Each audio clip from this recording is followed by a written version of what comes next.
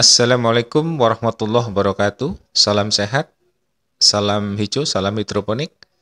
Baik sahabat, saya buat tutorial atau cara meracik pupuk cair AB mix ya.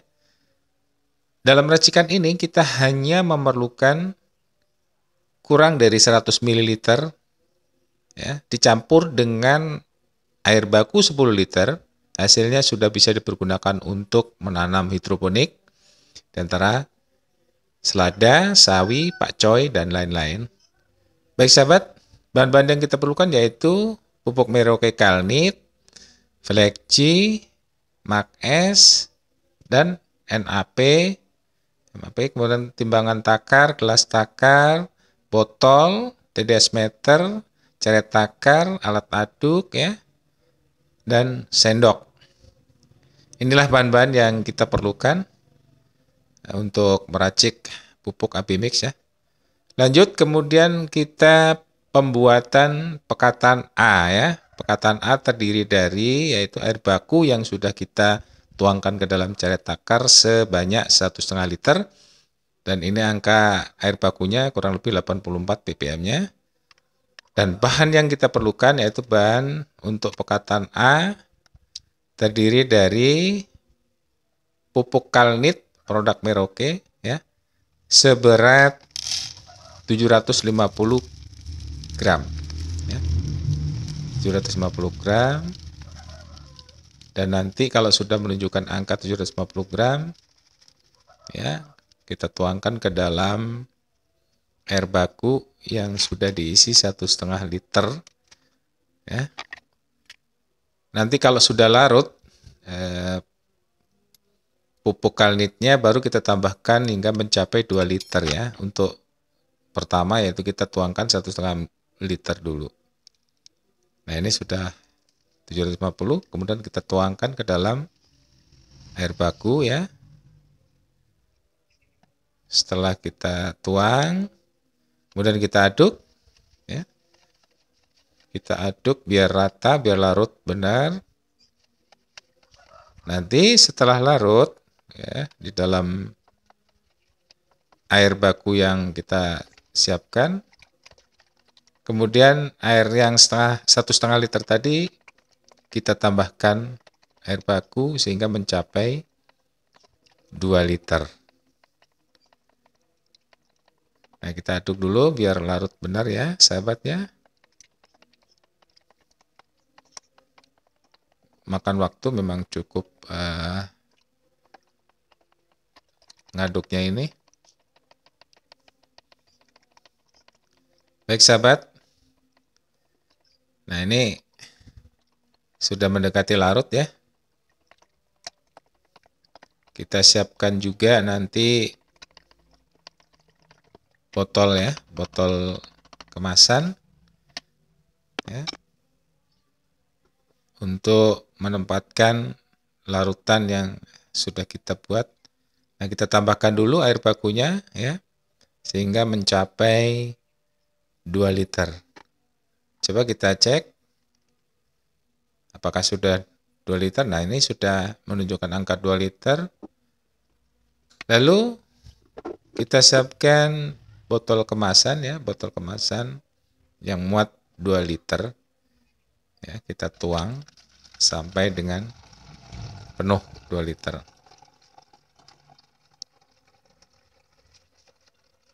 Kita tuang dulu ya, sahabat.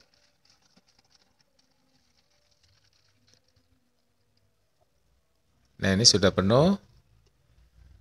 Setelah penuh kita tutup ya, kita tutup secara rapat. Inilah pekataan A sudah jadi ya. Pekataan A sudah jadi terdiri dari Merauke Kalnit ya, ini pekataan A-nya sudah jadi seberat eh, 750 gram.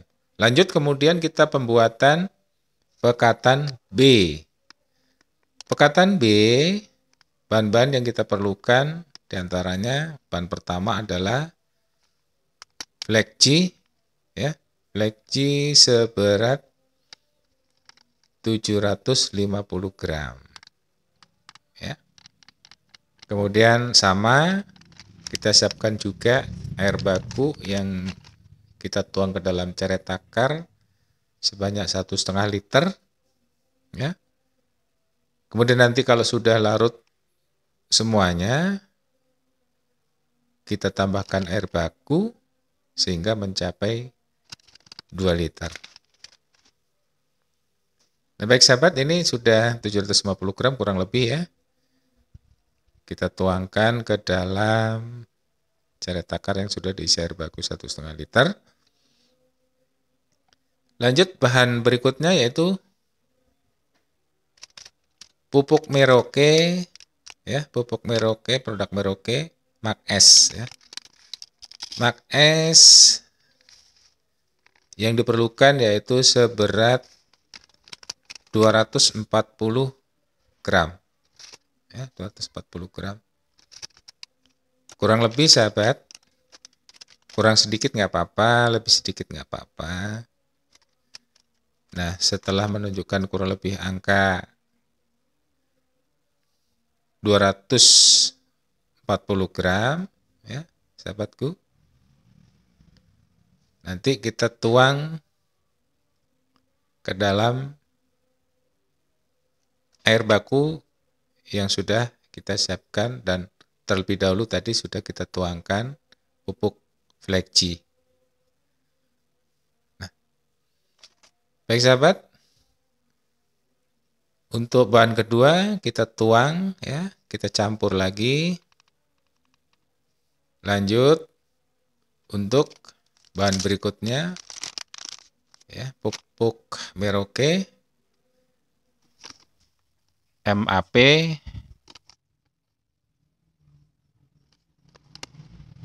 seberat 36 gram. 36 gram setelah itu kita larutkan kembali ke ceret takar yang sudah sebelumnya tertuang black G dan mak S. Kemudian kita aduk. Kita aduk secara rata, sahabat. Ya. Saya ulang sahabat, untuk pekatan B ini ya, terdiri dari pupuk Merauke Flexi 750 gram, pupuk Merauke Max S 240 gram, dan pupuk Merauke MAP 36 gram. Kemudian kita tuangkan ke dalam air baku yang sudah kita siapkan di dalam ceret takar sebanyak satu setengah liter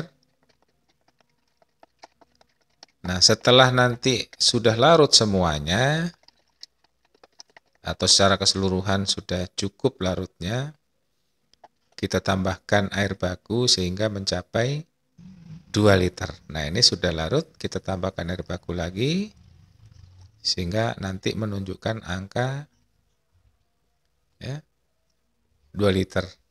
Nah, ini sudah 2 liter. Kemudian karena ini tiga bahan ya, cukup uh, lama untuk larutnya, sehingga kita aduk ulang supaya betul-betul larut. Ya. Nanti kalau sudah larut secara keseluruhan, kemudian sama kita siapkan juga botol kemasan ya, kita tuang ke dalam botol kemasan yang muatnya 2 liter. Ya. Baik sahabat, kelihatannya sudah larut ini. Lanjut, kita tuangkan ke dalam botol kemasan yang muat 2 liter. Oh ya sahabat, ini botol kemasan boleh sahabat beli botol baru. Nah ini yang saya pergunakan adalah botol kemasan bekas minyak goreng kita cuci ya secara bersih. Nah, sudah habis pekatan B-nya dan sudah larut. Nah, ini sudah jadi pekatan B-nya ya. Pekatan B sudah jadi. pekatan A tadi sudah jadi, ini pekatan B. Sahabat. Nah, ini pekatan B sudah jadi, pekatan A sudah jadi ya.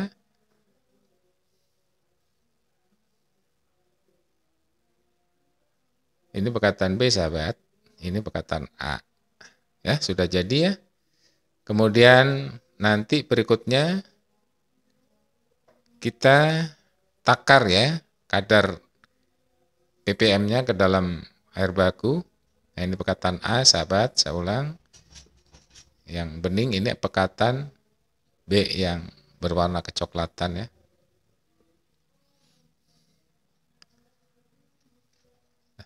Ini kita siapkan untuk mengukur kadar nutrisi berapa ppm yang eh, terkandung ya. Nanti kita siapkan air baku sebanyak 10 liter ya 10 liter air baku.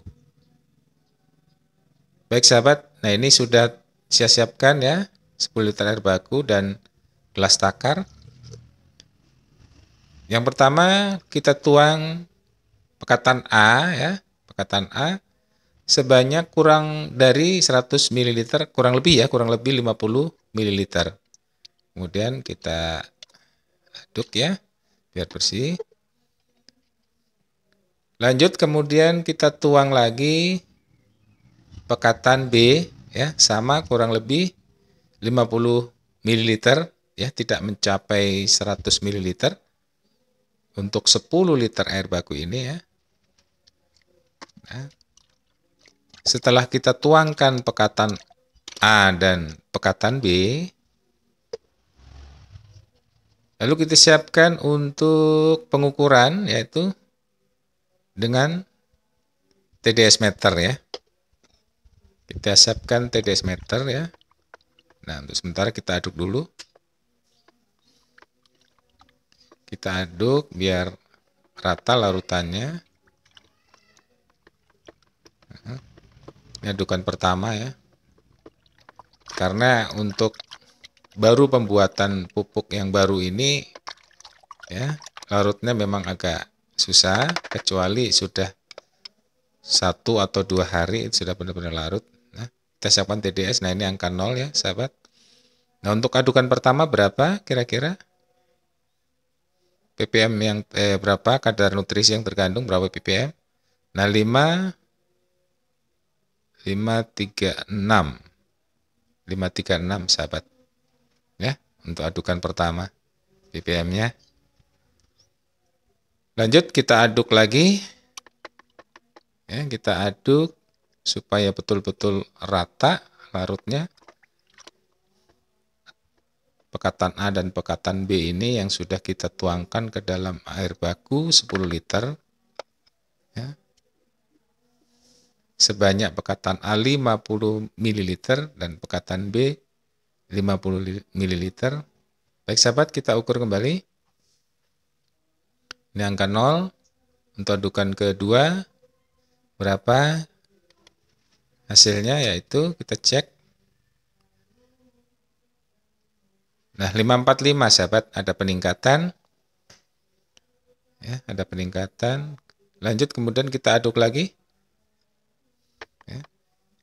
Seiring dengan larutnya pekatan A dan pekatan B ini biasanya pengalamannya, pengalaman saya ini bisa mencapai antara 600 sampai 800 ppm ya. Dengan 50 liter 50 ml pekatan A dan B ke dalam 10 liter air. Baik sahabat, coba kita ukur kembali ya ini angka 0 TDS meternya. Berapa sekarang? Hasilnya 622. Nah, sudah ada peningkatan. Ya, berarti sudah ada peningkatan. Baik sahabat. Nah, ini nampak hasil panen kita ya Pak Choi ya cukup bagus dengan racikan sendiri pupuknya. Silahkan sahabat untuk mencobanya meracik sendiri. Semoga video ini bermanfaat. Dan saya akhiri. Wassalamualaikum warahmatullahi wabarakatuh.